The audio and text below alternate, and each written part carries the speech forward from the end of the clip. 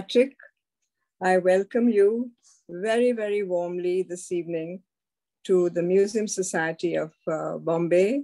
And I do this on behalf of the CSMVS, the chairman, Mr. Shirsagar, who is with us this evening, along with Mrs. Shirsagar, the director general, Mr. Mukherjee, the trustees of the museum, on behalf of my own Museum Society of Mumbai, and our EC, Executive Committee our members on my own behalf and on behalf of all the guests and friends who have joined us here today. We have quite a galaxy of visitors with us this evening from across the globe. Patrick, we have Dr. Saryu Doshi, Dr. Vidya Dehejia, Dr. Gomati Venkateshwar, many, many there are more than, I think, 40, 50 people on the seminar right now. And I'm really delighted on behalf of all of us to welcoming you here this evening. We had Patrick address us in 2018 in a different world, pre-pre-pandemic, when he was with us in the visitor center and he really enthralled us and regaled us about a very different character by the name of George Chinnery, and we're happy that today we've got Edward Lear with us. Edward Lear also comes with two disciplines, both poetry and painting. So thank you, Patrick, for acceding to our request once more. And as I told you earlier, I'm going to be greedy and ask you to speak to us on a subject dear to your heart sometime in January. And I'm going to just give a small teaser trailer to the audience that it's going to be on opium. But today, Patrick is going to be speaking to us on epic mountains and delineations. It's a quote, and Patrick will go into it in detail later. We're going to go through the voyages of Edward Lear with him, especially his voyage in India.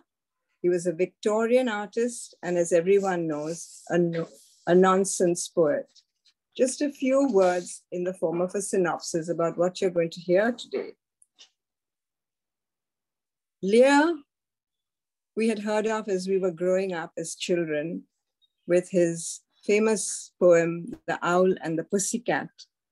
But from his early teens, he was a landscape artist by profession and an artist of great distinguished genius. He traveled here, of course, by steamer, landing in our very own city of Mumbai. But he'd already been through the Mediterranean and up the Nile, and his most ambitious journeys were in India from 1873 to 1875. He visited India on the invitation of the then Viceroy Lord Northbrook, Northbrook, who was a friend of Lear's. And that was one way people came to India with letters of introduction if they wanted to practice their art form.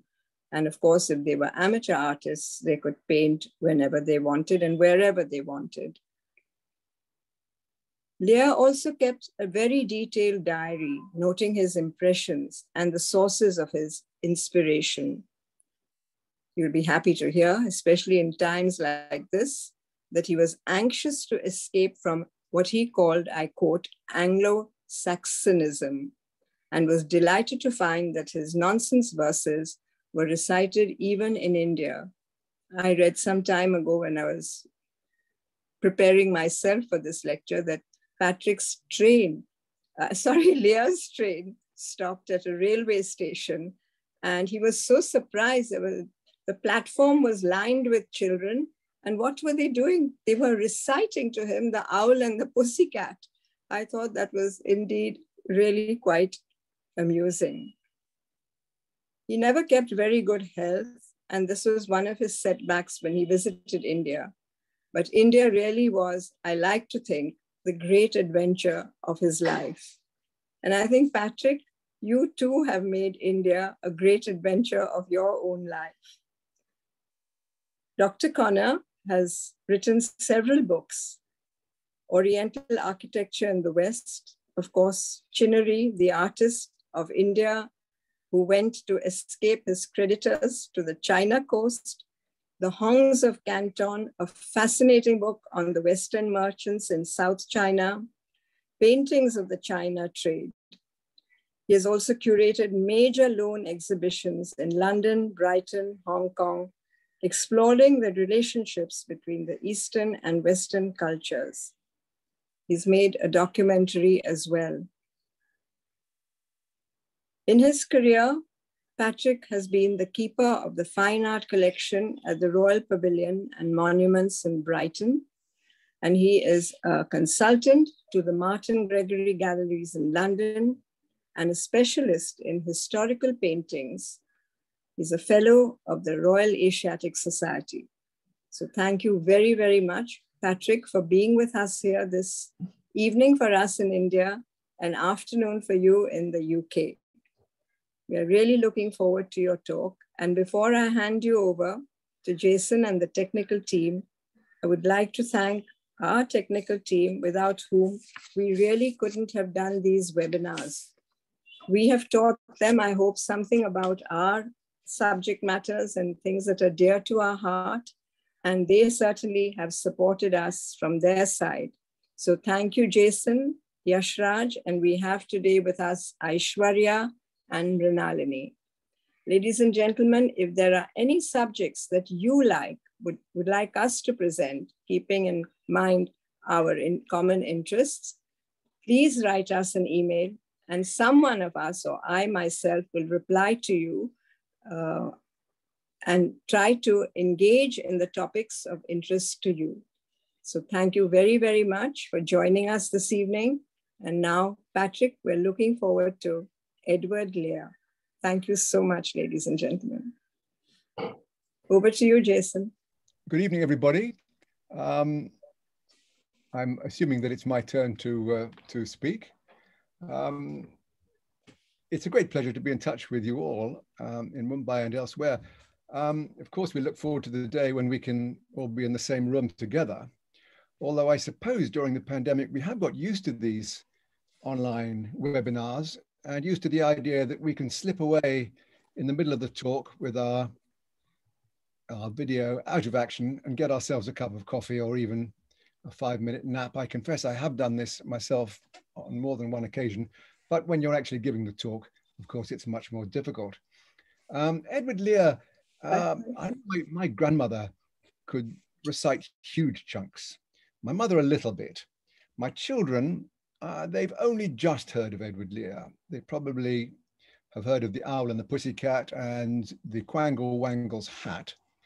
Um, but uh, in all cases, Lear as an artist, I think has perhaps escaped our notice. But that's what he was. He was an artist to his fingertips. He was a professional artist from a very young age. And if I start sharing the screen now, if I can do this right.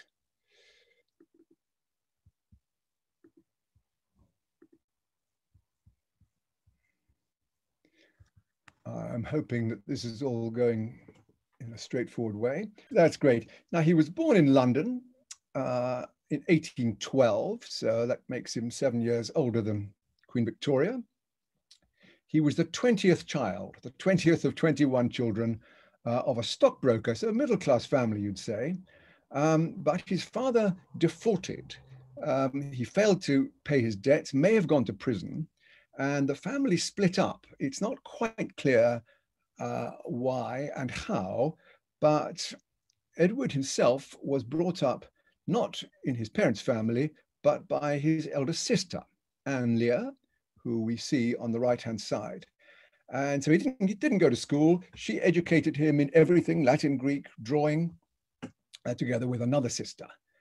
Um, so he had this rather unorthodox upbringing and clearly drawing was something he was very good at. And from the age of 16 onwards, he was earning a living by drawing screens or fans or medical conditions for doctors, rather gruesome occupation, um, and especially natural history.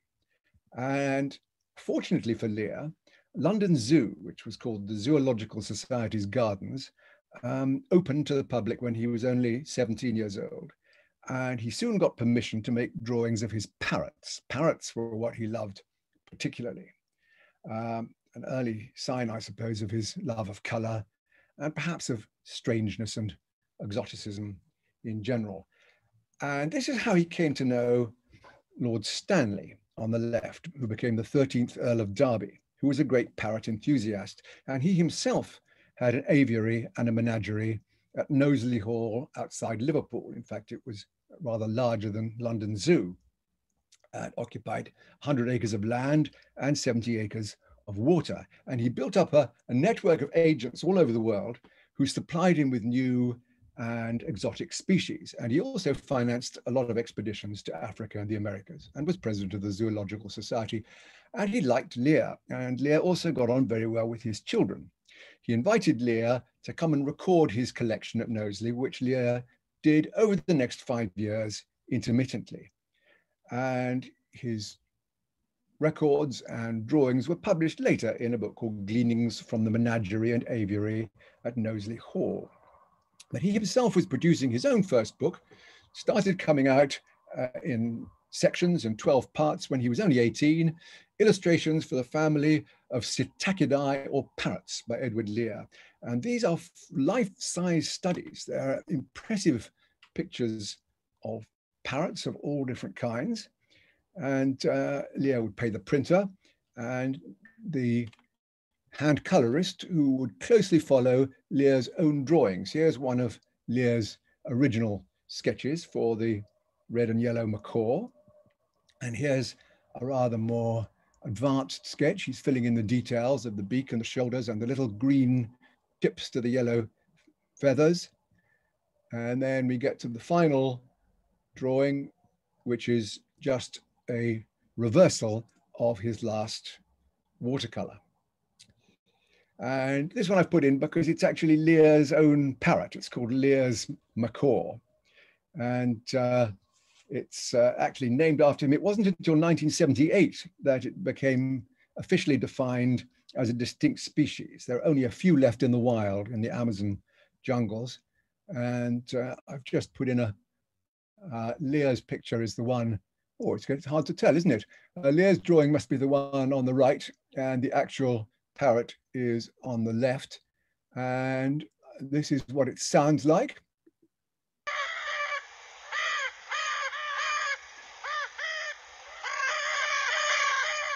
So if you're walking along one day and you hear that, either you're in the middle of the Brazilian jungle or you're prob probably in, in a zoo. Sorry.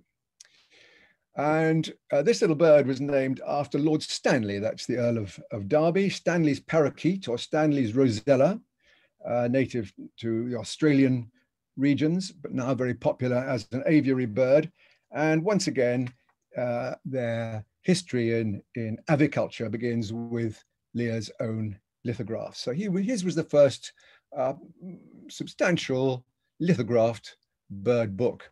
And he's often been compar compared with Audubon, a little bit his senior, um, who produced those wonderful birds, uh, the birds of America. Uh, one difference between the two is that Audubon studied the birds in the natural habitat, then had them killed so that he could paint them, whereas Lear actually painted them uh, from the life. They remained alive um, whenever possible, at least. Once again, if you compare it with the real thing, you can see there is pretty close. And not just a bird, here he is painting the great auk. Now the great auk, um, the last confirmed specimens were killed in 1844 and off the coast of Iceland. They were much sought after as meat for sailors returning from long fishing journeys and their feathers and the fat and the oil and the eggs were all increasingly valuable um, the duck feathers were used instead of uh, eider for eider down. Um, finally, they became extinct, and even stuffed ones are quite rare nowadays. This is the last stuffed great auk in Great Britain, which was given to the British Museum in 1810 on the right-hand side. And this, I think, is the one which Lear has copied. And he drew animals, you see there, Elia Dell, August the 19th, 1832. This is his weasel. And on this occasion, he couldn't actually see the animal itself um, because it was only the, um, the dead uh, skin of the lion, which was brought back from Gujarat, in fact. And it was the subject of a, a scholarly paper uh, read at the Zoological Society, and Lear was obliged to make a painting of the lion. This is the Asiatic lion or Indian lion, which has much less mane than most other animals and also has a distinctive longitudinal fold under its belly, which Lear hasn't actually represented.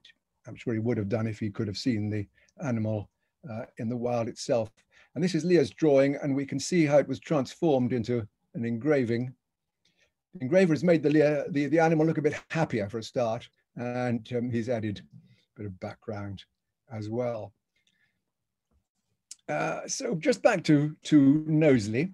Um, was very valuable experience for Lear, uh, apart from sketching all the animals and birds in the menagerie. He got on very well with the Earl's grandchildren.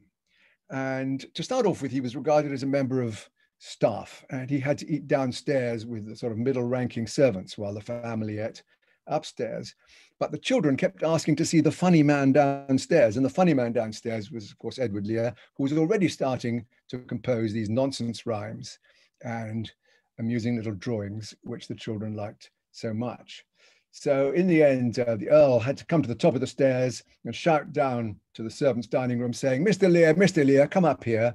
And ever after that time, uh, he would eat up in the main dining room. And indeed, he got to know, as he said himself, half the fine people of the day who used to dine there.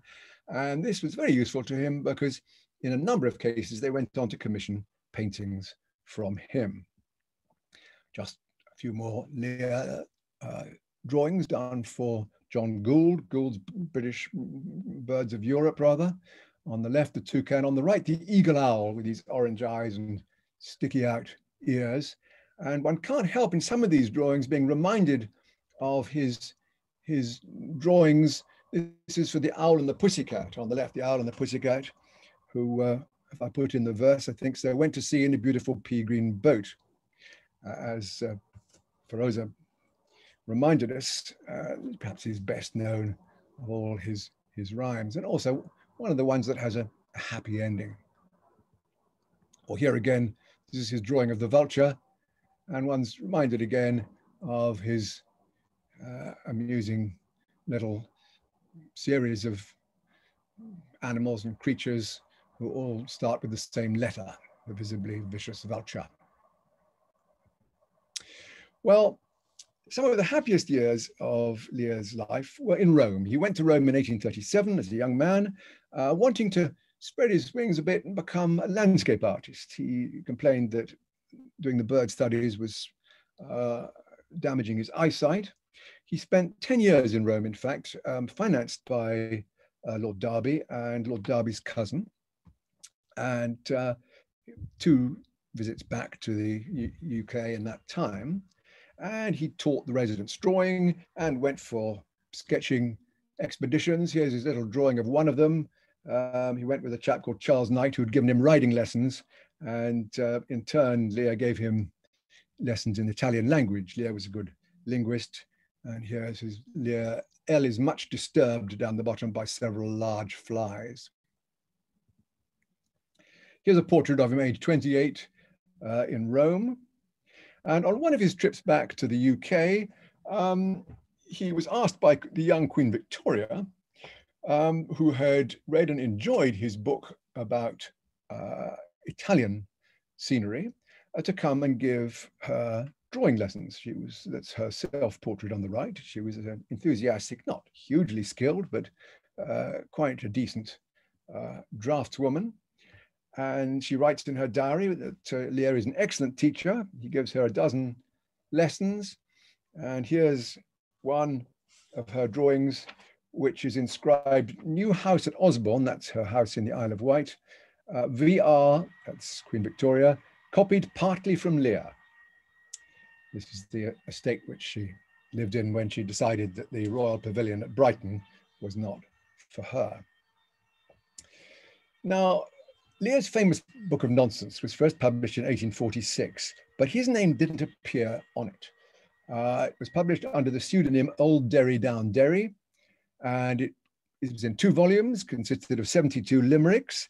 I should say that Lear didn't invent the limerick, he popularized the limerick, Um, but um, uh, he certainly wasn't the first person to produce one. In fact, I believe the first recorded use of a limerick is in an American newspaper in 1880.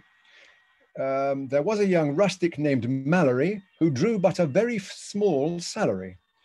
When he went to a show, his purse made him go to a seat in the uppermost gallery. Actually, rather better than some of uh, Lear's limericks, I would say. Uh, and this is a typical Lear limerick, the old man with a beard, who said, It's just as I feared. Two owls and a hen, four larks and a wren have all built their nests in my beard. And these became popular, especially after 1861, when uh, this is a, a, colored and more expensive edition, uh, when Lear's name first started appearing. There it is on the top right hand side. But um, people were not quite sure that Edward Lear was a real person. And this is because in the first edition, uh, there was a little tribute written by Lear to uh, the Earl of Derby and to the children at Knowsley. And people thought that it must be the Earl of Derby who'd written it, and that Lear, L-E-A-R, um, is uh, simply a rearrangement of the letters E-A-R-L for Earl. So uh, Lear was in the strange situation of having to prove to people that he was in fact the author. And this is his drawing of an episode on a train where somebody insisted on the fact that there was no Ed, Edward Lear. Lear, who was sitting in the carriage, had to take off his hat and show him the label in his hat to prove that not only was there such a person as Edward Lear, but he was that person. And he does these funny little botanical sketches, many people here upside down here, which became uh, rather better known than his paintings, although he was quite a successful artist all the while. Uh, he met uh, in the 1850s William Holman Hunt. And Holman Hunt was a group of artists known as the Pre-Raphaelites, who formed themselves together in 1848, uh, young artists, and they all believed that art had been going downhill ever since the days of Raphael, 1500 or so. And we should all get back to the earlier period, the spirit of art, in which artists weren't trying to show off their knowledge of human anatomy, but they went out and painted what they saw in front of them. And this was what William Holman Hunt tried to do. They believed in painting out actually in the open air, painting in oils, and also painting as vividly as possible using a white ground on top of which they put their pigments to give it a special vividness. This is one of Holman Hunt's pictures, which he did while he and Lear were together uh, on a farm uh, trying to follow pre-Raphaelite principles. Lear was painting a picture of the quarries of Syracuse. He'd been there in Sicily to make sketches. Here he is again, uh, the pass of Thermopylae, which he'd also visited on his travels, uh, being made up with pre-Raphaelite colors. And Lear was always obsessed with strange names. Um, he, like many people of his era, he knew his Greek history very well. And you can well imagine that going to Thermopylae, the famous pass where Leonidas and his 300 heroic warriors uh, prevented the Persian hordes from invading Greece, um, but what's really going through Lear's mind is the word Thermopylae and what sort of a limerick you could make out of it. There was an old man of Thermopylae who never did anything properly. But they said, if you choose to boil eggs in your shoes, you shall never remain in Thermopylae. Well, most of Lear's limericks, they truly are nonsense rhymes. They don't, they're not anything like as ingenious as many modern limericks. Uh, they have quite a lot less meaning, but they're very hard to forget. And so finally to India. Now, as Feroza said, uh, her very old friend Thomas Baring became Earl of Northbrook, and in February 1872, he was appointed Viceroy of India. Looks a rather severe man. Um, I think by the standards of viceroys, he was uh, he's regarded as a, a, relatively progressive one, an energetic reformer who was dedicated to uh, upgrading the quality of government, as it said. Um, and he avoided wars and annexations. um, to a degree that others hadn't, felt that India had been overgoverned. He mounted a big relief operation for the Bihar famine of 1873, uh, in contrast to the, to the later famine when his successor, Lord Lytton, was in charge. So he had four years uh, as viceroy, and he invited his old friend Edward Lear and provided some finance so that he could make a trip around India, which lasted for uh, a year and a half. And one of the things that made India attractive to Lear at the time was he could go out through the Suez Canal, which had only been opened four years before. And uh, of course, there were steamers now, which could go both ways up the Red Sea, uh, as the sailing ships had not been able to do. And it cut at least 5,000 miles off the trip, about 10 days sailing. So Lear goes down the Suez Canal, arrives in uh, Mumbai, and uh, the first thing he does, he goes off to Jabalpur and makes a drawing of the famous marble rocks, which he very much appreciates. I've just put in a, a drawing of the uh, a contemporary photograph, so you can see it's not as exaggerated as all that. Lear does tend to uh, over dramatize his, his verticals in particular. Um, just a little detail of the monkeys, which are a great feature of the place. He, in his diary, he says, sublimely beautiful, both as to color and form and brilliancy. No end of monkeys bouncing and jumping about or sitting on tree branches high above the river. Such a loveliness of marbleism one never dreamt of. Marbleism, very much a Lear word.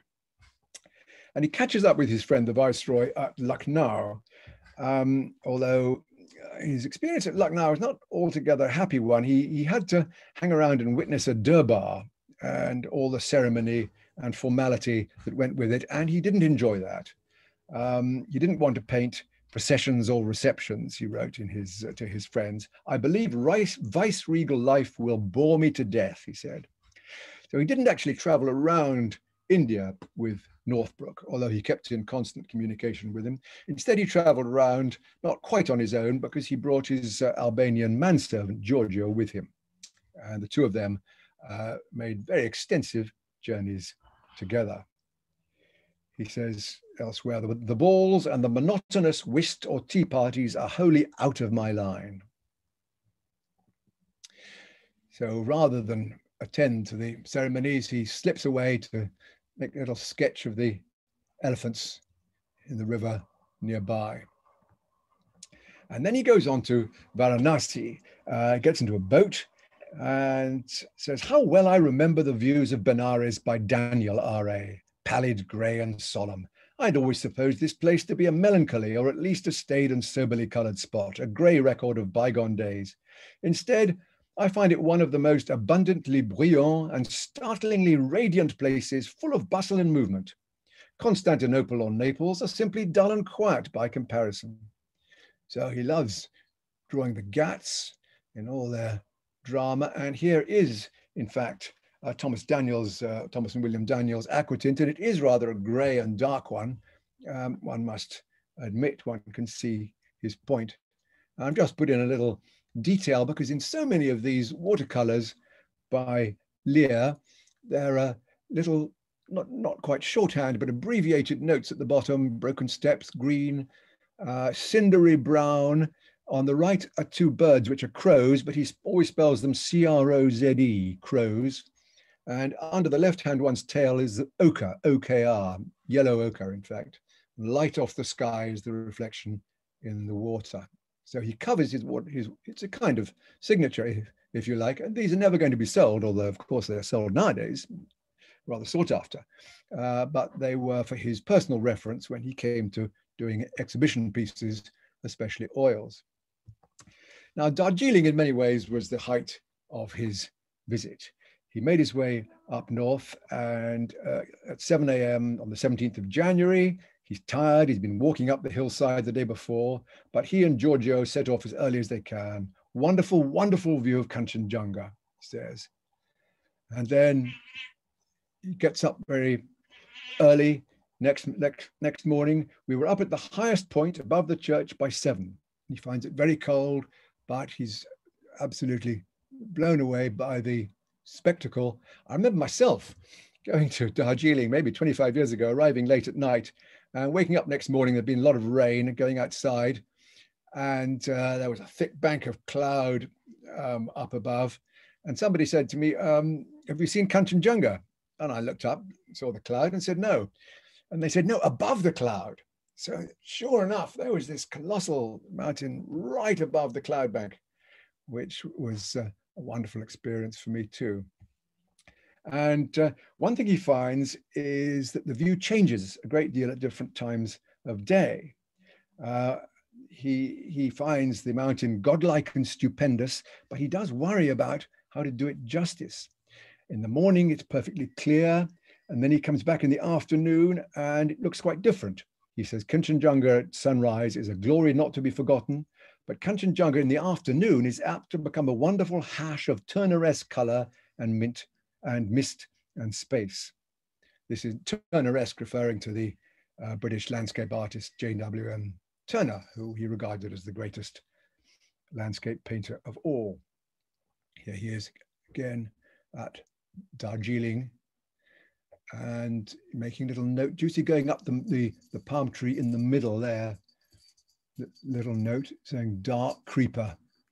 So he makes a lot of these sketches, always makes a note of what time of day it is so that he can use them later on. And he made in the end, I think, four different oils. There may be others that uh, haven't come to light. The two of them are at Yale at the British Arts Centre. One's at the Metropolitan Museum, one's at the National Museum of Wales. And this is a typical Lear oil composition with big uh, masses of foliage either side, and then a ravine or at least a view through the center to a distant vista, a traditional uh, composition in the manner of Claude or Poussin, I suppose. Um, but of course, he, all artists in those days really wanted to succeed in their oil paintings because that's really how you became uh, famous and how you became quite wealthy.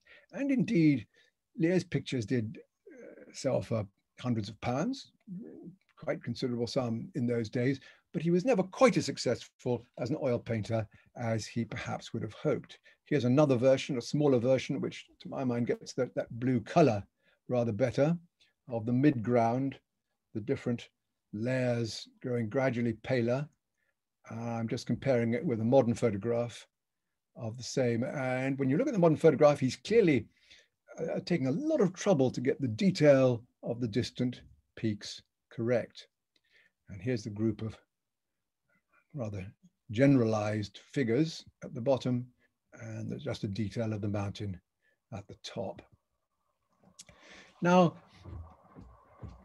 Holman Hunt and the Pre-Raphaelites soon rather faded from view, but a painting that he particularly admired was by Frederick Church, the most famous American landscape painter of the 19th century.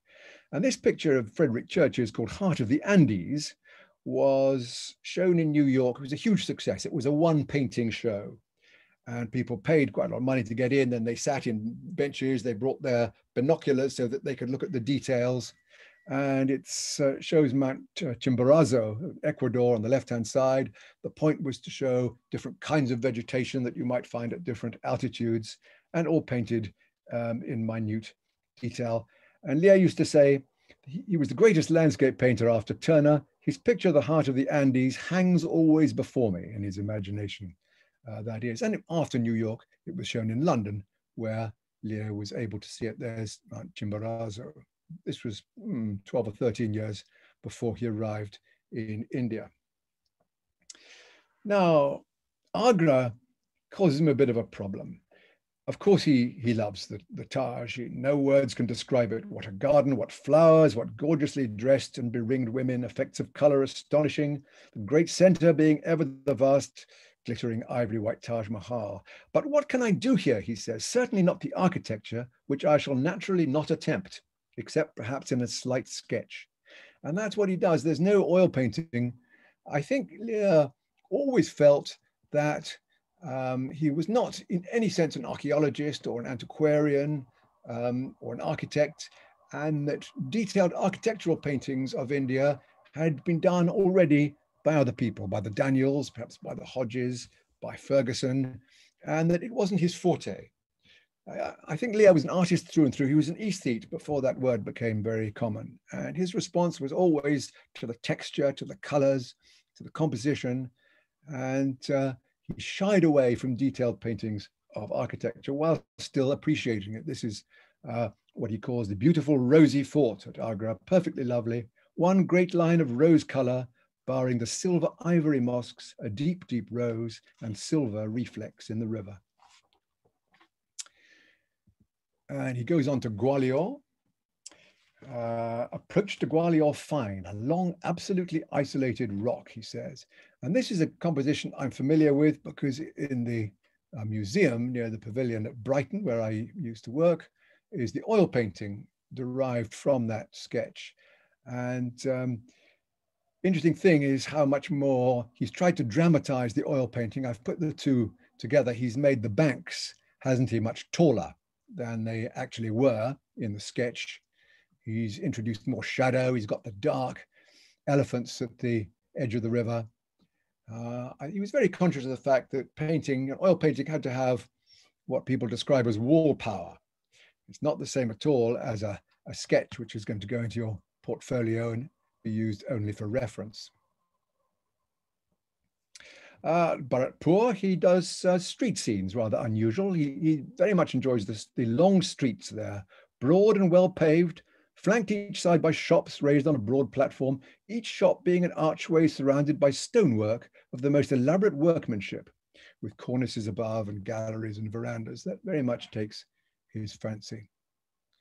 And then on to Vrindaban, fully the most holy Indian and completely picturesque place I have seen since Benares, he says. And he comes to the river. There was no sun, only a faint veil of cloud everywhere, so I was able to work well.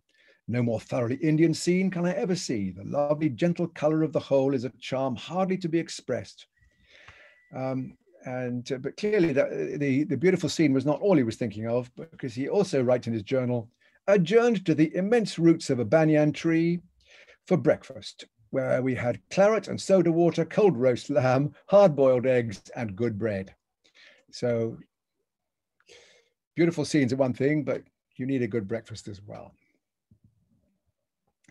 Just comparing it with the Daniells uh, painting, um, in this particular picture, uh, Thomas Daniell combines the architecture and the foliage uh, in dramatic fashion, but in his aquatint, which is probably the one which uh, would have been known to Lear, you get a rather austere picture of the monolithic temples from around the, the other side. And Lear was very conscious of what had been done before him. Doesn't spend long in Delhi, um, which he found quite a, a, a ruinous place in those days. It doesn't prevent him from making jokes and puns about Delhi and delicate and indelibly and deleterious water. Um, he moves on there uh, to Shimla. And uh, here, all is either civil or military. He doesn't like either of those much. One large sanitarium, uh, he does appreciate the mountain views, though. The north view is nearly all exquisite pearl pink lemon haze, and he likes the, the large ilex, the golden ilex, and the rhododendron is a mass of red. And uh, the conifers up at the higher altitudes. He loves his trees much more than his architecture, and the rhododendrons he makes a lot of sketches of. Here we are lots of scratchy detail and wants to get it exactly right. Each little layer of the flower has a slightly different color, which is annotated. Well, here's a whole page of rhododendron flowers with birds looking through and precise instructions he's made for when he comes to make a painting, if he does. Um, you feel Lear is an obsessive uh, he's the kind of artist whose whole life has to be spent drawing. He's unhappy if he can't. And he was well aware that a lot of these drawings were not going to be used for making paintings, but it was his life. It, it was what he felt driven to do. And he made about 2,000 of them uh, in the course of his time in India. Oops, excuse me. Uh, in Pune, it rained a lot, um, but he did, did some very attractive pictures, I think, and they were on blue-gray paper. It gives a slightly different effect. He'd been told that there was nothing to be seen in Pune, uh, and he was pleased to discover that was completely untrue. And he does lots of drawings in all of which it's fair to say the architecture is upstaged by the, the foliage and the people and the street scenes. These are all views. He loves the, the verticals of the, the trunks and the banyans. Um, then he makes his way over to the uh, southeast. He goes to Chennai, and here's the beach, Madras, 28th of August, 1874. And from here, he takes a steamer uh, down the coast to Mahabalipuram, which is full of interest. And now we see him painting the temples rock hewn, he writes, very rounded and old. Um, Mahabalipuram was a place that a number of artists had visited. Um, I remember Feroza wrote a very interesting piece about James Fergusson's visit there um, in the uh, CSMVS journal, was it about three years ago? And um, Fergusson must have been there uh, 30 odd years before Lear, and he was just the sort of artist that Lear was had at the back of his mind, and he realized he, he could never be a Fergusson. He could never do the the uh, precisely delineated, archaeologically correct drawings that Fergusson had done. So he makes these drawings of the rock cut temples, but when he does the oil painting, it's completely different. And the stars of the show here are those these colossal clumps of palms, and the uh, architecture has really become a minor feature in his huge dramatic painting. This is now in the Philadelphia Museum of Art. And here are the so-called shore temples at Mahabalipuram, um, which um, haven't got much foliage close to them. They're not going to make it quite a suitable oil painting for Lear. I've put in there my own photograph on the bottom right and George Chinnery's uh, sketch done in about 1805 on the top right they, they haven't changed a great deal. I know a certain amount of restoration has taken place. Uh, and it was here, as Feroza said, that uh, Lear makes his remark. He loves the place so unique and ancient and unmixed by modernism or Anglo-Saxonism. Anglo-Saxonism sums up a, a variety of things he doesn't like. He doesn't like hierarchies. He doesn't like formal British social life. Um, and in fact, he made his home away from Britain for the last few years of his life, as we'll see in just a second. Well, just very much in passing, um, I've put the two together, George Chinnery and Edward Lear, because I do think they're kindred souls in some ways. Um, they are both, well, eccentric figures. They both prided themselves on their ugliness. Lear describes himself uh, in a little poem. He says, his mind is concrete and fastidious. His nose is remarkably big. His visage is more or less hideous. His beard, it remain, it resembles a wig. And Chinnery on the left also prided himself in Macau as being the ugliest man on the China coast. Um, moreover, they both had this obsessional attitude to drawing, to going out early in the morning, to making a note of exactly where and when you were doing the, doing the picture. They're not quite the same in their drawing style. Here I'm comparing Chinnery's early 19th century drawing of the Masula boatmen, the catamaran in the foreground on the uh, uh, beach at uh, Chennai, and the same boats by Lear below, uh, waiting to take people out to the bigger ships in the bay. And I've just put in a, a Chinnery drawing of the hut in Bengal because he adds this shorthand. You can see all the shorthand around it. Um, top right, the figure rather too small. And then on the bottom, it's, uh, whoops, I didn't mean to go back quite yet. He's got the, the date and little things which you might imagine were just squiggles turn out to be bits of shorthand, giving the, the, the color notes uh, red and mud and things of that kind. So a pair of obsessives. Now, uh, we're coming to our close now. He has a month in Sri Lanka uh, before leaving, which is rather overshadowed by the fact that he's not very well, he's getting tired, and Giorgio in particular has a bad bout of dysentery. Uh, he goes first of all to Galle. This is a little sketch of breadfruit leaves. And I'm looking up online, I see that in Galle there's a beach hotel called Owl and the Pussycat, which prides itself on being the most runcible hotel in the world, runcible being one of Lear's nonsense words that uh, means nothing at all. So uh, I've never been to Sri Lanka, but if I do, I think I shall try and call in at the owl and the pussycat. And here's his picture of Adams Peak at Ratnapura in the Central Highlands.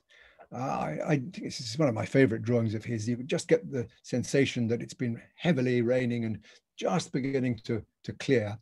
And you rather lose that wonderful freshness when it's turned into an oil painting, dramatic though it is once again, you've got Lear's favorite composition of the two masses of foliage and the sunlit vista between. So he then makes his way back by steamer, takes three weeks to get back to Mumbai. Here's a little drawing of Malabar Hill. And from here, he goes home, home no longer being uh, Britain, although he has a couple more visits to make. Uh, he settled now in San Remo in northwestern Italy, uh, on the edge of the Mediterranean with uh, Giorgio, his Albanian manservant, and also Giorgio's sons after Giorgio's wife had died. Um, Giorgio spoke uh, Greek and Albanian and Italian, but not English.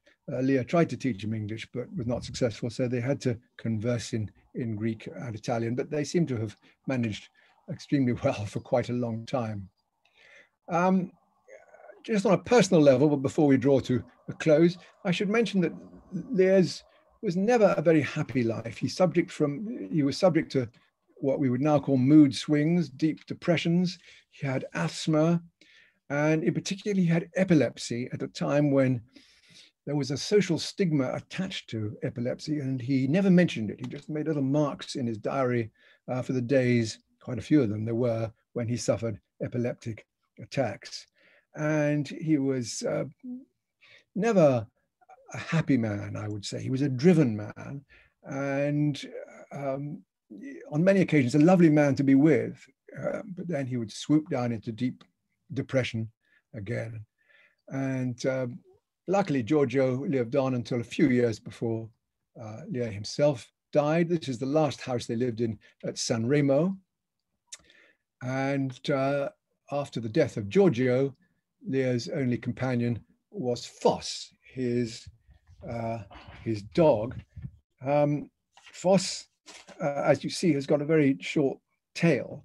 That's because Giorgio cut his tail off um, in the belief that a cat wouldn't wander away from a house where if it had left its tail. This happened shortly before uh, left for India, with Giorgio leaving Foss behind. Well, unlike Foss, Lear had been a great traveler. And India, as Feroza says, I think was his most ambitious and his most fulfilling adventure. And with that, I'll draw to a close, except just to mention one thing, and that's that many of Lear's Indian watercolors are now in the Houghton Library at Harvard. And it has an excellent website from which I have taken a number of the uh, watercolors in this presentation. And I do urge you to check it out very nice high resolution. You can look in at close detail at the uh, admirable Mr. Lear. Thank you.